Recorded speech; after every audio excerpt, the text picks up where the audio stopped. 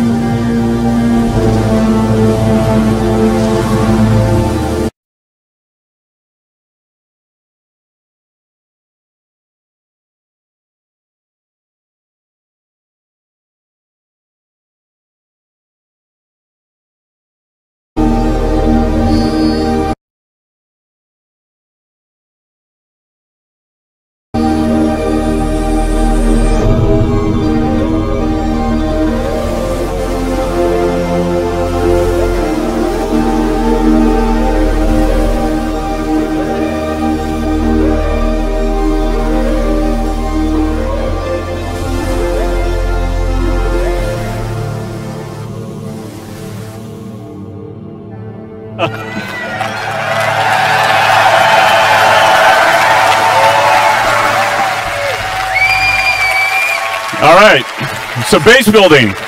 All right, it breaks down into two really large gameplay sections, planning ahead and prepping, um, and then you've got the on-site where you're actually gonna build. So with that, you need to figure out what your goal is. Is it to have a home with a nice view and relax? Is it to have a trading post where you want to create and sell items? Is it to gather resources available and move on to the next area? Or is it to be off grid and be completely self-sufficient?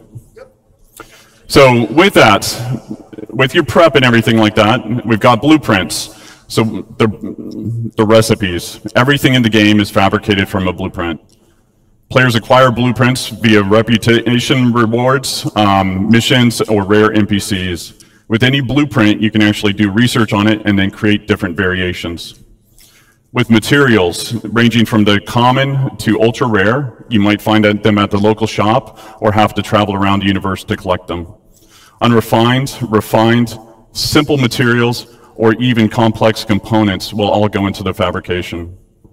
With this, then you got location, location, location. First area is high security, so you must purchase the land.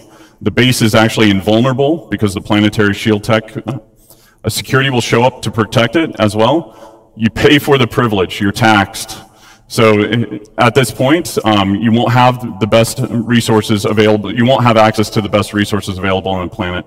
If you don't pay your taxes, the shields will go away after a period of time and the base will become derelict and will collapse.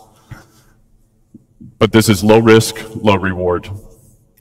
Then you've got low security. So again, you must purchase the land. It's owned by an independent corp, gang, or faction. Again, you don't have access to all the best resources on the planet. The base is vulnerable. AI NPCs will show up and protect the base if it's attacked. The protection will escalate um, over time. Player can also build defenses to help mitigate this as well. And then it's medium reward, medium risk. Then you've got lawless. So this is no protection other than what you build. There's shields, anti-air, Players can disable the shields by getting close to them and destroying them. High risk, high reward. Since there's no taxes, no protection fees, you get a high return on the resources that you collect.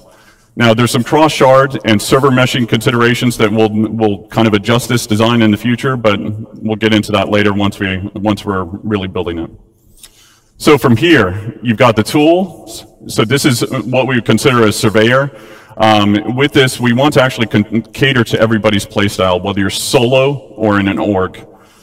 With this, you got different buildings that you can produce, from small, medium to large to extra L or XL. So with the surveyor tool, you can only build the small buildings. With a vehicle, you can build small and medium-sized buildings. With the Galaxy, you can build small to large structures. And then obviously with the Pioneer, Pioneer can do it all, and it still works as a mobile base. And we'll uh, talk about some of the more expanded features that we're adding to it in, in later on. So, um, and then it's also, we're exploring what can be done in space, not just on the planet. So from here, you set off on your journey. So with the land claim, you put your tool down where you want, you launch the drone, that is built into the machine, and then from there, this allows the player to access the base building and also land claim mode. With the land claim modes, the player can actually change the size and position of what, what area they want to claim, and it also shows you the cost and taxes associated with it. If it's in a taxable zone and you don't own the land, this interface will default to it. So if you own land or it's in a lawless area, it'll automatically go to base building mode. So with uh, the overhead view of the land, you can actually place down buildings exactly where you want.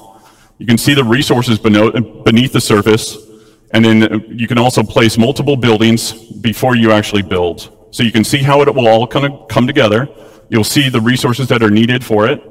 And then you can also switch back and forth between different modes, which are showing off the resource network and, and how you link basically power generators to consumers and then the player can move or deconstruct existing buildings right now with no charge. Fabrication. So when you, when you basically build these buildings. They don't come with any furnishings. And if you, if you didn't bring any with you, then you want to build a fabricator.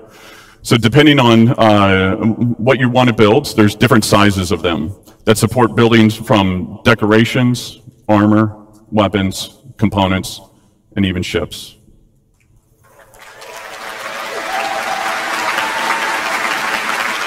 So like base building mode, you need blueprints, resources to craft what you want. Everything fabricated is produced from a, it produces a physicalized entity.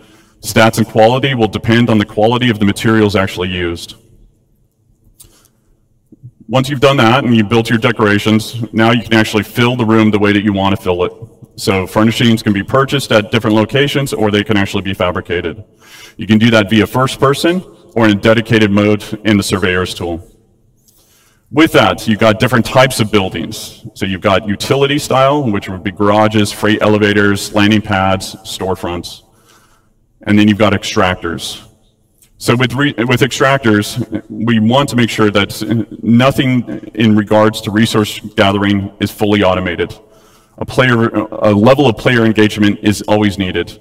So as Nick talked about before, there are different types of commodities, radioactive, perishable, etc what you'll be doing is pulling out full containers. Then from there, you'll be repairing, or there's wear and tear associated with it, or even misfires like you saw in Thorsten's talk and Guillermo's talk yesterday. There's also upgrade paths for making them more efficient or resilient. Power generators. So with different types of power generators, there, there'll be some that are more cost effective as well as effective in different areas. Solar panels will not always work in darkness. Fuel generators will need to be filled up every now and then and then batteries to store excess power. Then you've got producers, so things that will require the players to combine different resources to produce new items. And then you've got defense, so anti-air, anti-personnel, and then shield generators. And then the big one, we start development Q1. So, that's me.